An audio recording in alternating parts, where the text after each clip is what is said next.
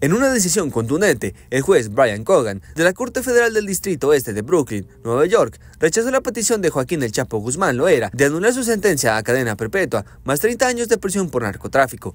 Guzmán Loera argumentó que su extradición a Estados Unidos violó el estatuto habeas corpus e intentó anular la sentencia. Sin embargo, el juez Cogan ha rechazado hasta el momento todas las alegaciones de violaciones a sus derechos humanos, procedimientos en su extradición y el proceso judicial en su contra. El juez también denegó la solicitud de Guzmán Loera de asignar un nuevo abogado para revisar su caso y las supuestas violaciones cometidas durante el proceso judicial en la Corte de Brooklyn. En julio de 2019, el juez Cogan sentenció al Chapo a cadena perpetua más 30 años de cárcel, luego de que un jurado lo declarara culpable por unanimidad de múltiples cargos de narcotráfico.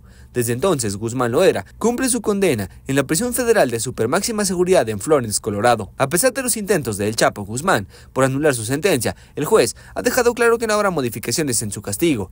El líder del cártel de Sinaloa deberá pasar el resto de su vida tras las rejas, pagando por sus crímenes y siendo ejemplo de la implacable lucha contra el narcotráfico.